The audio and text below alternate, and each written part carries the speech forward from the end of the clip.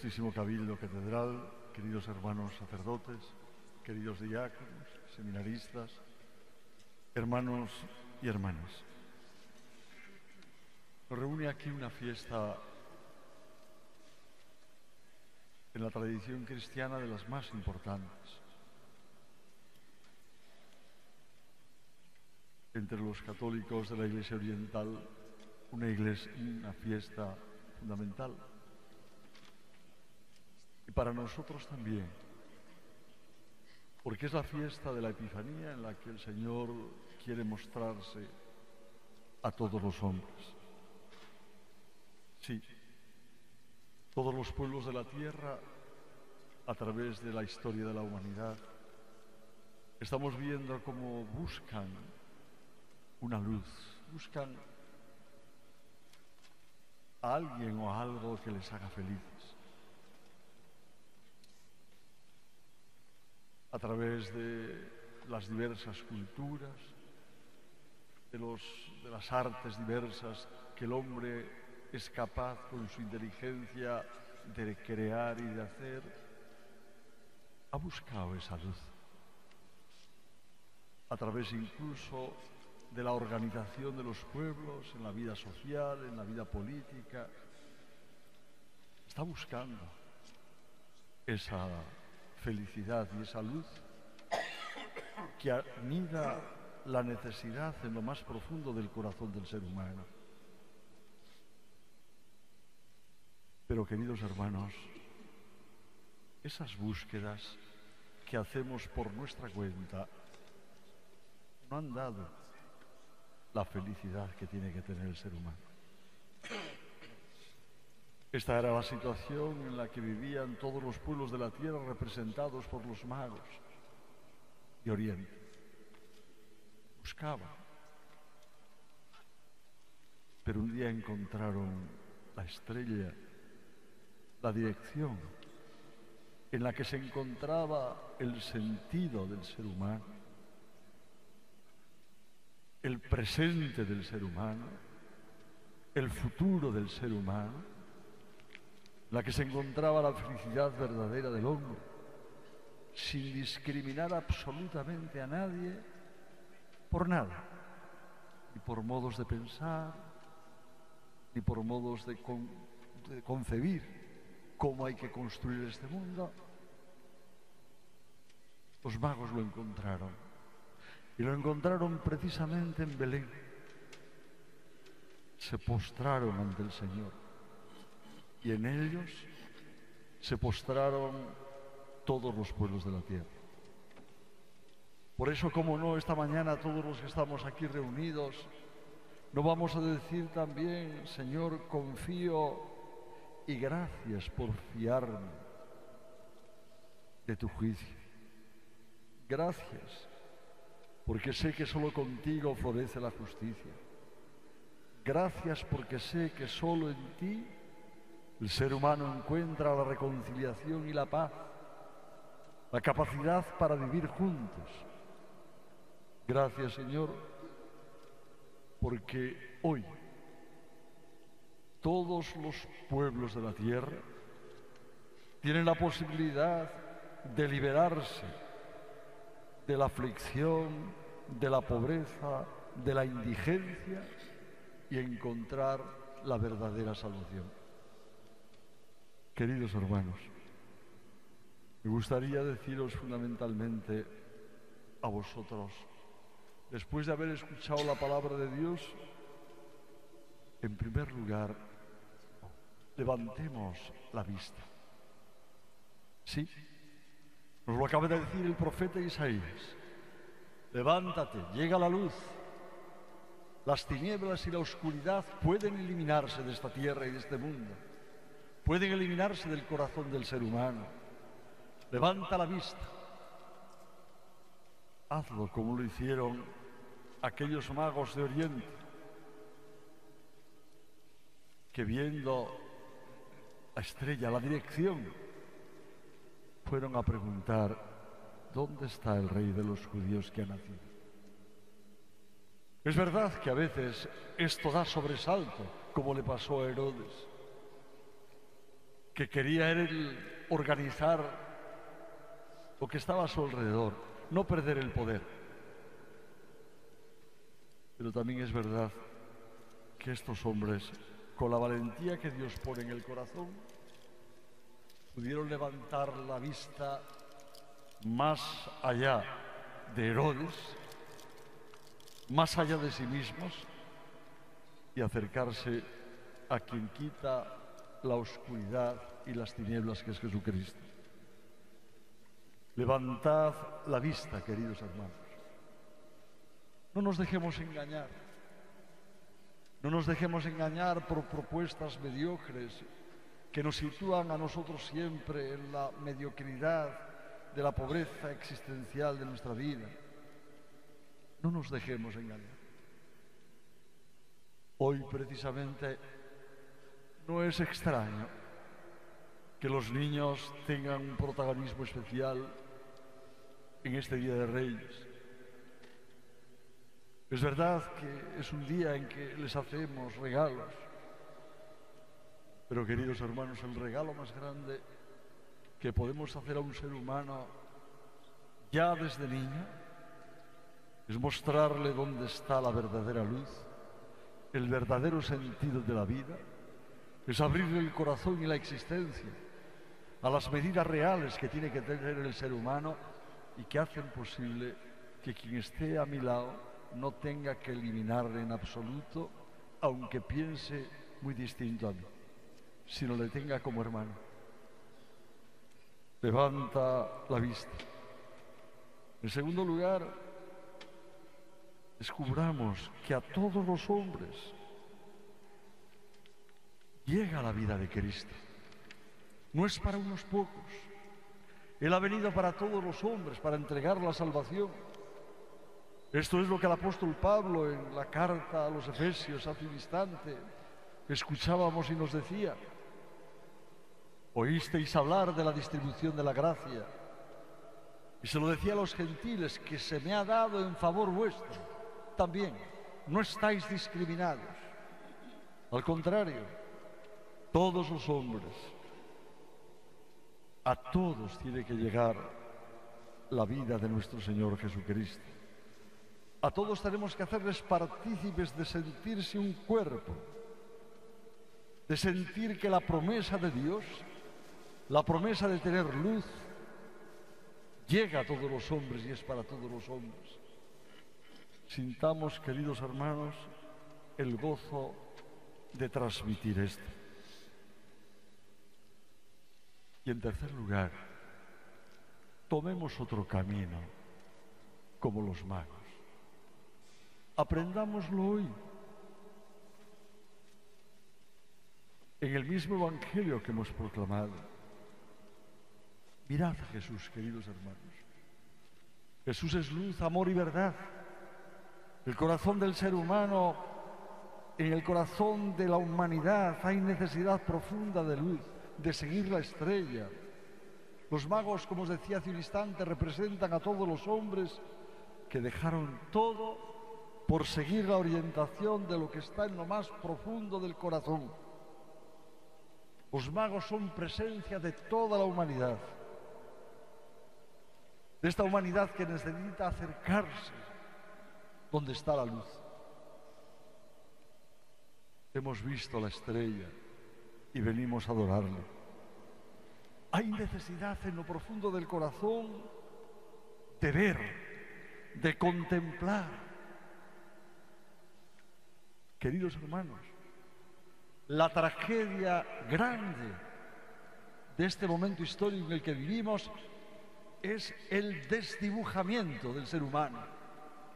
Y solamente en quien se ha hecho humano con el humanismo verdadero, que es Cristo, nos puede devolver el dibujo real que tenemos que tener los hombres para poder vivir y convivir entre nosotros, para poder entregar la paz verdadera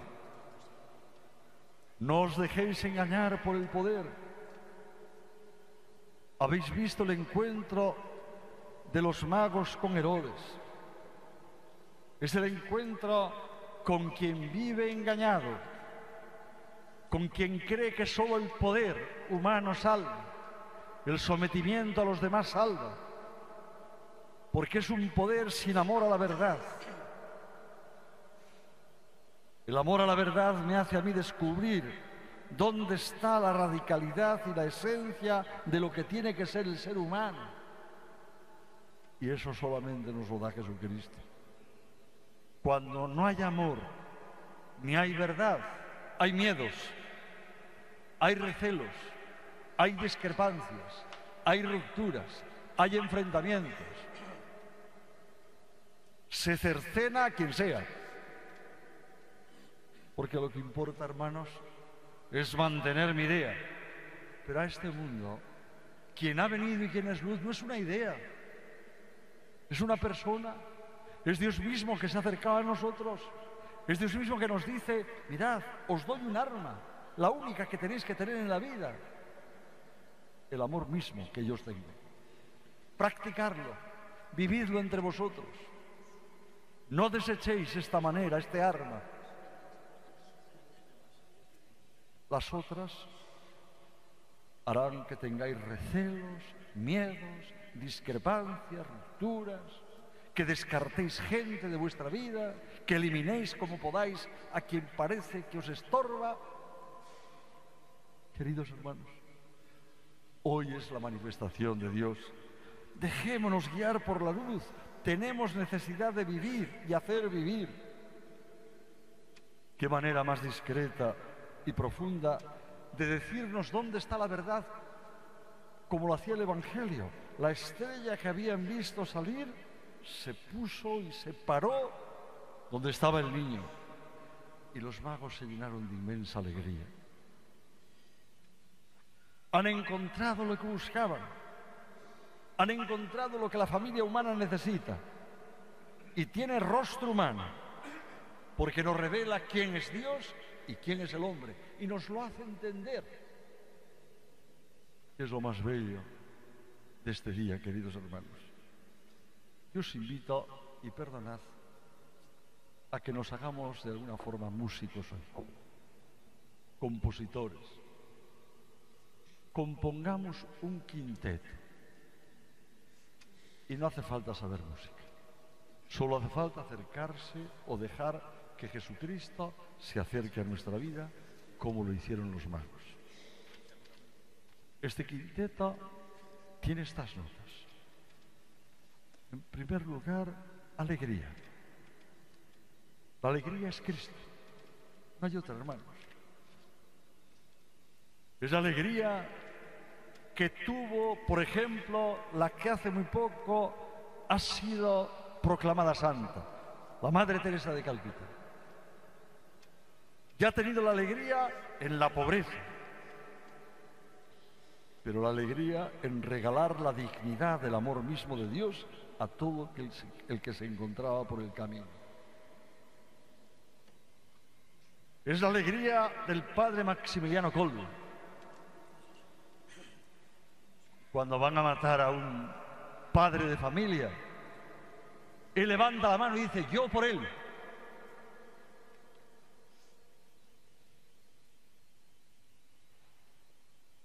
es alegría, queridos hermanos, de San Juan 23, que cuando comienza el concilio nos dice a la iglesia, ha llegado el momento de que la iglesia aparezca como madre de todos los hombres.